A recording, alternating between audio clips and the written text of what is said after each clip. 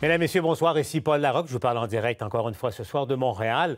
Euh, comment s'est passé euh, le retour au travail après le long congé de la fête des Patriotes, qui, on doit le dire, a été marqué, et j'espère que vous en avez profité, par euh, l'arrivée du beau temps presque estival. Mais vous l'avez constaté, la politique, elle, ne prend pas de congé. Vous avez vu toute cette controverse au sujet de cette affiche qui a été installée dans quelques succursales de Desjardins. Ça fait beaucoup réagir, on peut le comprendre. Imaginez, on parle de la fête des patriotes avec, sur cette affiche-là, un gros drapeau du Canada. On va en parler, si vous le voulez, avec Paul Saint-Pierre Plamondon, le chef du Parti québécois, qui est avec nous ce soir en direct du bilan. Bonsoir, M. Saint-Pierre Plamondon. Merci d'être là. Bonsoir. Dites-moi, bien franchement, qu'est-ce qui vous est venu à l'esprit lorsque vous avez vu la première fois l'affiche de, de, Desjardins en question? Bien, dans un premier temps, j'y croyais pas. Je pensais que c'était un faux. Mm. Euh, et ensuite, euh, la question que je me suis posée, que j'ai posée directement à Desjardins, c'est pour que cette affiche-là se retrouve dans plusieurs succursales aux quatre coins du Québec, combien de dizaines d'employés ont vu ça, puis n'ont aucune idée de notre histoire, n'ont aucune idée des Patriotes? Euh, mais je m'attendais à ce que Desjardins corrige le tir rapidement, dans le sens que je m'attendais pas à ce que, euh, au contraire, Desjardins garde le silence et même en rajoute en disant, euh, dans une réponse à un internaute sur les médias sociaux, que euh, Desjardins comprenait que ça mettait mal à l'aise la communauté québécoise. Ben euh, comme si les Québécoises et Québécois étaient une communauté culturelle, alors qu'au Parti québécois, on croit fermement que tous les Québécois sont Québécois à part entière. Euh, donc, vraiment, il y a une série de, de gestes ou d'absence de gestes du côté de Desjardins qui euh, font réagir, m'ont fait beaucoup réagir, mais à un, tel point que j'avais un peu de, difficulté à comprendre une espèce d'incrédulité par rapport à ce qui s'est produit. Euh, euh, plusieurs se, posaient la question. Euh, la Banque Royale ou la Banque Scotia installée à Toronto n'aurait probablement pas agi autrement que Desjardins avec son, petit communiqué d'excuses, puis aucune entrevue, aucune explication additionnelle à donner? Non, aucune explication. Un commentaire de quatre lignes lundi soir férié à 10 heures. Euh, donc, on ne saura pas combien d'employés, puis pourquoi, puis ça dépasse Desjardins. Euh, vous vous souviendrez, euh, il n'y a, pas si longtemps, j'ai parlé des pendaisons puis des déportations des francophones et on m'a traité de radical, on m'a même qualifié de dangereux. On, on, a parlé de propos violents et vous avez ici un exemple de notre déracinement, de notre déconnexion avec les faits historiques de base, qui, hmm. à mon avis, sont fondamentaux si on veut comprendre le présent et euh, préparer l'avenir. Donc, euh, moi, je pense qu'il faut parler d'histoire, surtout que l'histoire des patriotes, c'est une histoire de courage, et on leur doit notre différence linguistique et culturelle encore aujourd'hui. Et, et, je vois dans Desjardins, dans ce comportement, parce qu'il y avait une autre affiche avec une bicyclette jaune qui, elle, était partout au Québec également, mais qui disait simplement jour férié qu'il y a encore un tabou autour de l'histoire des Canadiens français aujourd'hui, québécoises et québécois.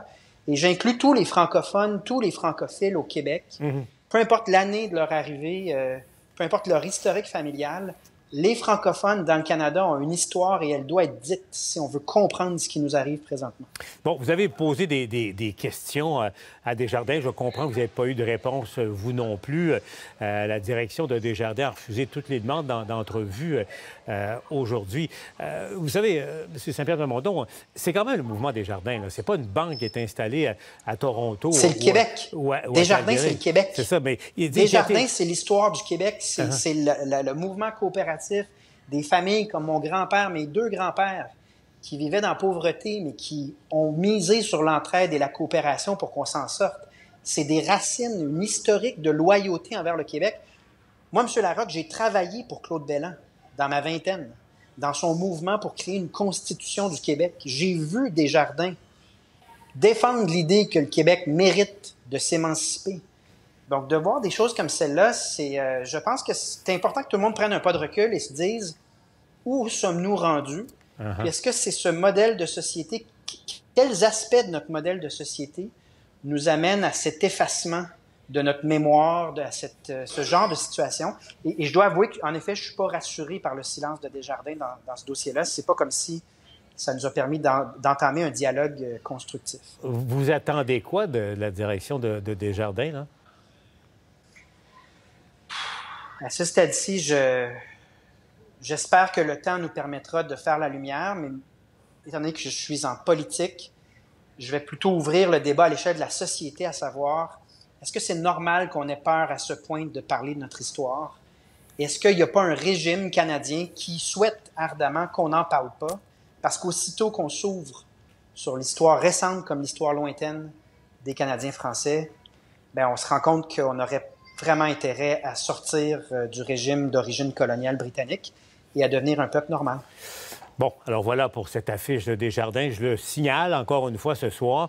Nous avons, bien sûr, comme euh, bien des médias, demandé une entrevue avec le président euh, de Desjardins, Cormier, euh, toujours sans réponse. Je réitère l'invitation ce soir. Demain, il ne serait pas trop tard.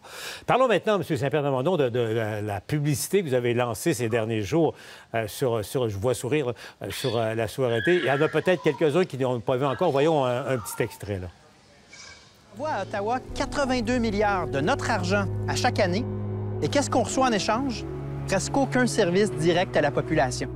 Ajoutez à ça qu'Ottawa veut décider à notre place en empiétant dans nos champs de compétences il nous impose une politique d'immigration incontrôlée. Alors voilà, et ça continue comme ça. M. Saint-Pierre donc les faits sont quand même importants. Euh, dites-moi, par exemple, quand vous dites dans la pub, euh, on envoie 82 milliards par année à Ottawa sans de services en retour. Mais le Québec, au plan comptable, reçoit plus qu'il en, envoie à Ottawa. Vous êtes, vous êtes prêt à admettre ça? Là? Non, pas du tout. C'est un mensonge qui est répété par les fédéralistes et nous avons fait le budget de l'an 1, signé par six économistes indépendants non rémunérés représentant toutes les universités québécoises pour confirmer que c'est tout l'argument de la péréquation doit être pris en compte plus globalement et que non, on ne reçoit pas plus que ce qu'on envoie et qu'il y a énormément de gaspillage à Ottawa. Ce qui est vrai, c'est qu'on reçoit 9, quelques milliards en péréquation, mm-hmm.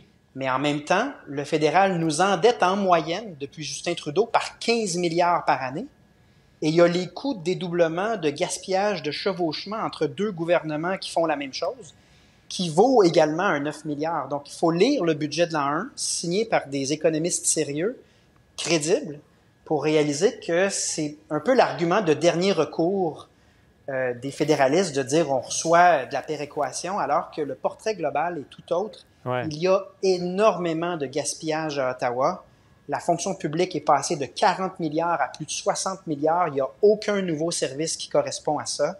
Et si on élimine un palier de gouvernement de trop, oui, ça va être payant. Et c'était le sens du budget de l'an 1. Parce que c'est l'argument, vous l'avez entendu comme nous euh, la semaine dernière, euh, François Legault, ancien souverainiste pressé, qui dit que c'est plus 10 milliards dans, euh, dans, son analyse comptable, lui, le premier ministre du Québec actuel, de dire que le Québec est gagnant de 10 milliards par année en ce moment. Ben, j'ai hâte de voir son exercice pour démontrer ça. Nous, on l'a mis par écrit et on a six économistes qui confirment que le Québec serait en meilleure posture financière dans un Québec indépendant. Et, je trouve ça triste de voir François Legault, qui a consacré son temps à cette cause-là et au budget de l'an 1, mentir de manière aussi délibérée, comme il le fait malheureusement souvent en Chambre. Sa parole vaut euh, ce qu'elle vaut malheureusement. Parce que pour vous, euh, il ment, point à la ligne. Oui, oui. Euh, sur les questions d'indépendance, il a voté pour une motion de l'Assemblée nationale comme quoi le Québec a les moyens financiers de devenir indépendant, mais ensuite reprend tout le discours de Jean Charest et de Jean Chrétien sur une base constante, ce que je trouve est déloyal envers la cause du Québec et la cause qu'il a lui-même servi toute sa carrière avant de prendre le virage euh, vers la CAQ pour prendre le pouvoir. Et, juste pour euh, cette publicité-là, là, être clair sur les intentions du Parti québécois, mm-hmm. non seulement on va revenir avec les faits des économistes, les chiffres, mais on a décidé que, étant donné les surplus, parce qu'on a beaucoup, beaucoup de dons et beaucoup de nouveaux membres au cours de la dernière année et demie, donc on a dépassé nos objectifs de sorte que chaque cent qu'on reçoit de plus, dorénavant, on l'a réinvesti en promotion de notre cause et en démystification d'un discours fédéraliste qui est mensonger, induit la population en erreur et on va faire euh, tout ce qui est en notre pouvoir pour euh, que ces choses-là soient, clarifiées pour la population. Et, mais clairement, là, vous tentez de, passez-moi l'expression québécoise, de secouer le pommier en ce moment parce que l'option. Euh, elle plafonne. C'est un plancher plafond qui ne bouge pas autour de, de 36 C'est la réalité depuis des années et des années. Les, les, Québécois, pour le moment, en veulent pas de référendum et en veulent pas de souveraineté.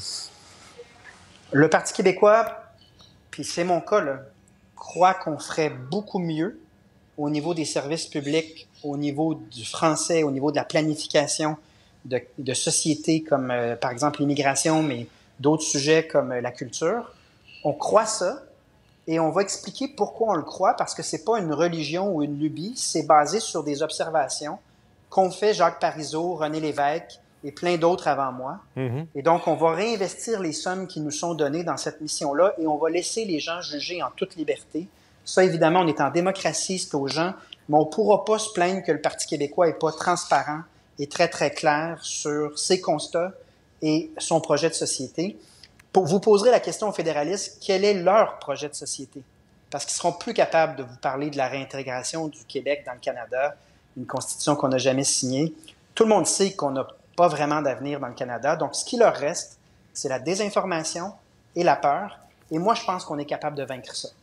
Alors, bon, vos prédécesseurs avaient chacun leur expression. Jacques Parizeau, c'était l'autoroute de la souveraineté. Lucien Bouchard, lui, disait qu'il faut les conditions gagnantes, cependant. Je vous repose la question, M. Saint-Pierre Plamondon. Si je comprends bien, peu importe qu'il y ait appétit ou pas, un vote pour le PQ, c'est un vote pour un, pour un référendum. Et ceux, les électeurs et électrices qui ne voudraient pas de référendum, bien, vaut mieux ne pas voter pour vous? C'est un peu ça. Bien, il y a du choix au Québec. On a cinq partis différents. Et pourquoi faire de la politique si tu n'es pas capable de dire aux gens pourquoi tu es en politique? Donc, j'explique le mieux possible ce qui est ma croyance, qu'il y a un avenir meilleur qui nous attend à travers notre projet de société, que j'ai hâte de voir le Québec rayonner à travers le monde, chicaner des chicanes puis du quémandage avec un gouvernement qui n'est pas le nôtre.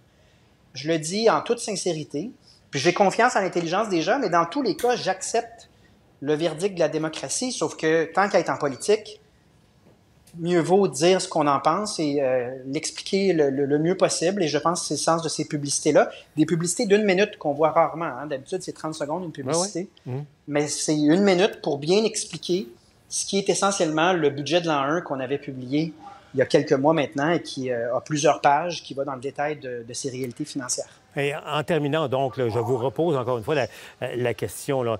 Euh, les Québécois, si les Québécois vous élisent à, à Québec, c'est clair, peu importe l'état de l'opinion publique ou des sondages, si vous prenez le pouvoir, il y aura assurément un référendum qui suivrait. Oui, nous allons consulter la population en leur posant la question voulez-vous qu'on devienne un pays C'est le sens de notre engagement politique, mais je vous dirais aussi c'est nécessaire et urgent parce que le Canada nous fait reculer à vitesse grand V et le mandat fort de la CAC, c'était ça la promesse de la CAC, là, ils l'ont essayé, n'aura rien changé à ce que le Canada euh, nous réserve sur tous les plans financiers, linguistiques, culturels, représentation internationale. Donc, faut être capable d'avoir l'honnêteté d'en tirer les conclusions qui s'imposent. Le caquisme aura été un échec. Si on veut du changement, il faut considérer un changement qui est réel, c'est-à-dire exister, devenir un peuple normal avec notre propre pays. Paul Saint-Pierre Plamondon, le chef du Parti québécois, merci d'avoir été euh, avec nous encore une fois ce soir au bilan.